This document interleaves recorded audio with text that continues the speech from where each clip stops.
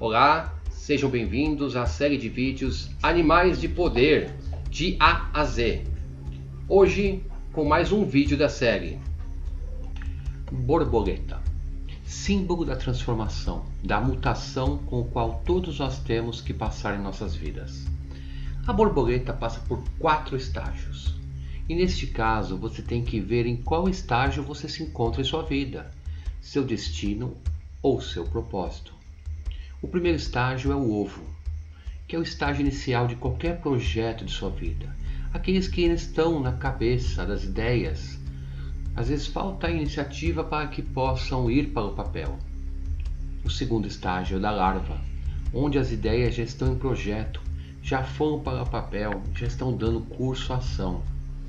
Já o terceiro é o casulo. Neste ponto da vida, tudo está sendo incubado, as ideias estão sendo planejadas para serem realizadas, pois já saíram do papel e estão já para ser executadas.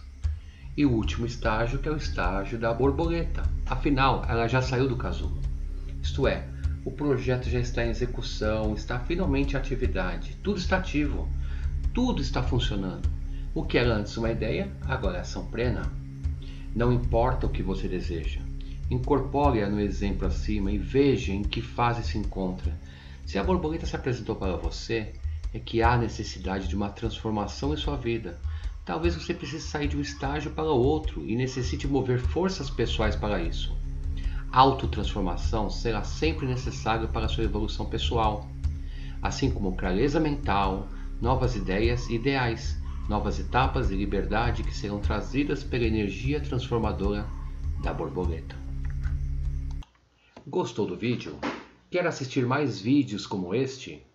Então ative o sininho, inscreva-se no canal e, se possível, compartilhe com seus amigos. E visite nosso site www.filosofiazen.com.br.